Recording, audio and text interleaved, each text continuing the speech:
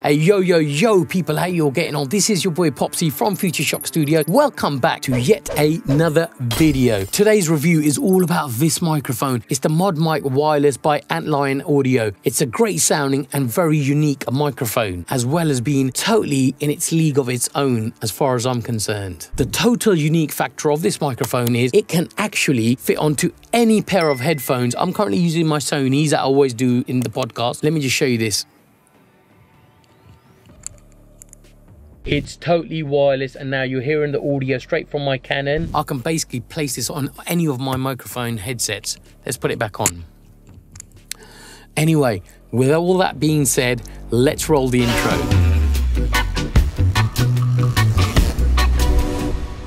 Welcome back. I just want to say a big thanks to the folks at Antlion Audio for sending me the Mod Mic Wireless for a review. However, they have got no input into this video, so all the opinions are going to be based on, on what I think of the mic. Just before we dive straight into the review, I do want to ask you if you haven't already subscribed and you want to see more of these kind of videos, please do subscribe to the channel. And if you want to ask me anything, please leave it in the comments below. Also, don't forget to check the timestamps to help you navigate throughout the video. All the audio in this video is going to be recorded on the Mod Mic Wireless wireless, which is going straight into my MacBook. And as always, I'm recording in Logic Pro X.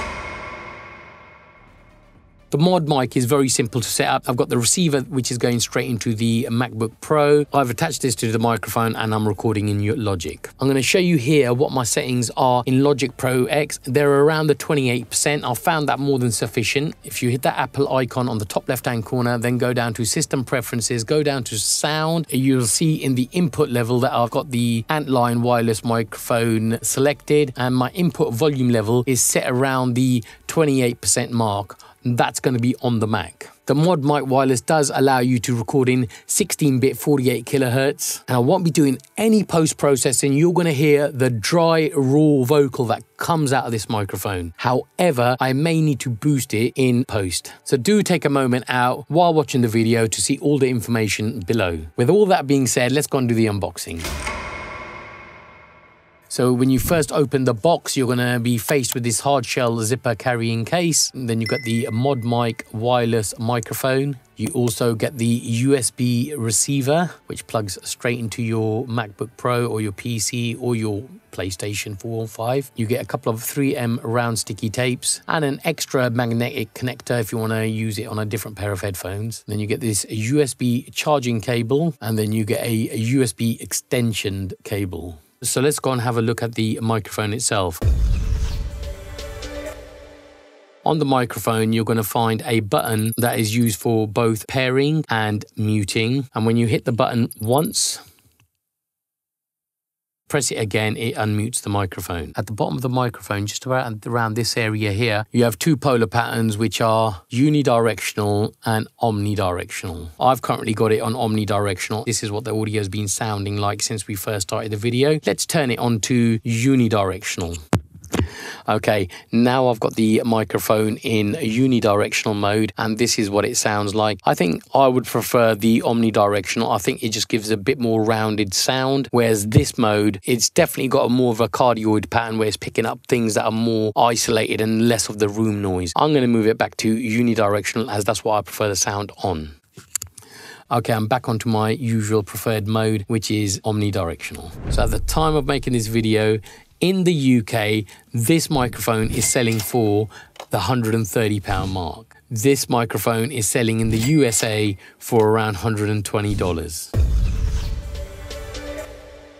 In terms of its compatibility, it works with Mac, PC, Linux, and it works with both PlayStation 4 and 5. However, it's not compatible with the Xbox. It weighs around 26 grams. I've had it on. I really just can't feel it. All I'm feeling is my headphones. It is a very light and portable microphone system.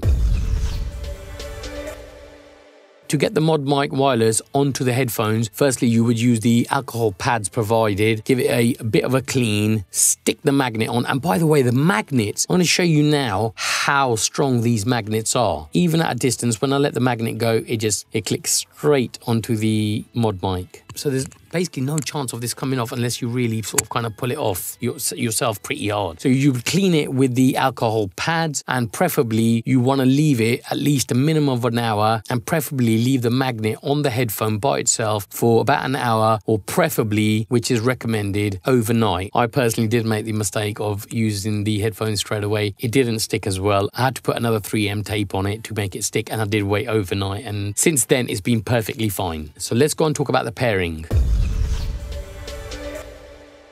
So pairing is very simple. You do is plug in the USB receiver into your Mac or PC and you'll get a blue blinking light. Then you put the USB uh, cable into the microphone itself and also plug that into the MacBook Pro or PC. Press the button on the mic and it'll automatically pair and you're all good to go. There's a corresponding light system on the mod mic as well as the receiver. That's because once you've got the mic on, you don't know what mode you're in. I'm just going to show you that once I press the mute button, it's going to go red. Obviously, you're not going to hear what's going on. The corresponding light on the receiver in the MacBook Pro is also going to show me red. So I'm going to press it now.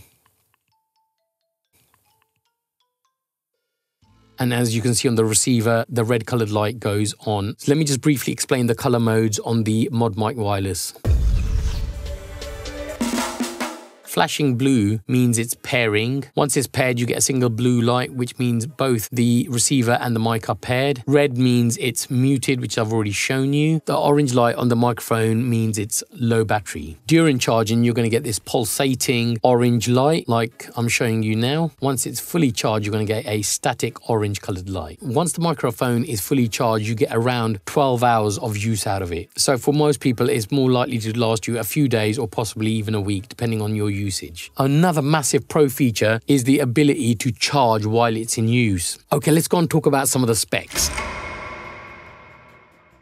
Let's go and have a look at the microphone capsule specs. The frequency response for the omnidirectional is 50 Hz to 20,000 kHz. In the unidirectional polar pattern is 100 Hz to 10,000 kHz. The range is around 10 meters plus, which is equivalent to 32 foot. The bit depth is 16 bit. The sampling rate is 48 kHz. You get the aptX low latency codec. Latency is at 34 milliseconds. The Mod Mic Wireless is compatible with Windows, Linux, and PlayStation 4 and and PlayStation 5. So now that I've highlighted all the features in the Mod Mic Wireless, let me know in the comments below what you think about it or is it worth it for you? Is it something that you may consider? What things about the Mod Mic Wireless did you like and what you didn't like? So let me give you some of my final thoughts.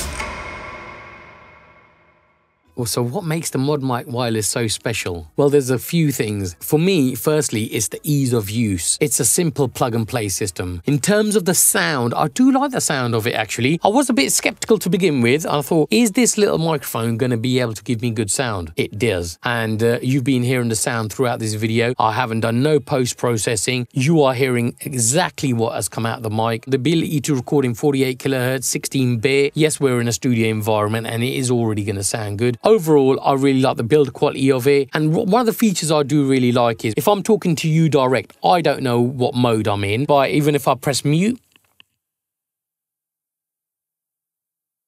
Now, I really wouldn't see that mute button. Having these LEDs on the receiver indicating what kind of mode you're in, the thought process that Antlion Audio have put in with these LED status lights is brilliant. That's one of the, my favorite functions. The other thing I really like is I don't have to be up close. Throughout the filming of this video, I can move anywhere I want. I can even turn my le head left. I can turn my head right. And, you know, the audio is still going to be, because the audio is going to be remaining with me. I don't have to be right in front of the camera to get really good sound in normal normal cases you do. I am going to do a few tests quickly. I'm currently speaking on the Mod Mic Wireless and this is what my voice sounds like on it. Now I'm talking on the Canon DSLR cameras inbuilt microphone and this is what the audio sounds like on it. I'm just going to put the aircon on and see if it picks up any background noise now.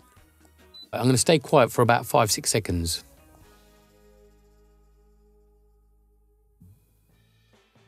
I do like the fact that I can use this microphone on any pair of my headphones, which in itself is a unique selling point for this microphone. Anyway, you judge it for yourself what you think of the microphone. So if you're looking for a wireless microphone system, then you might want to check the Mod Mic Wireless. It's a great sounding mic. I can definitely vouch for it because I've heard the audio, I've been testing the audio, listened to it as well. If you've got any questions, do drop us a comment below. And that's all you're going to get from me for today. And if you did the video today, drop us a like and hit that like button if you like the video or smash it if that's something you're into and subscribe if you aren't already. And I shall see you next week.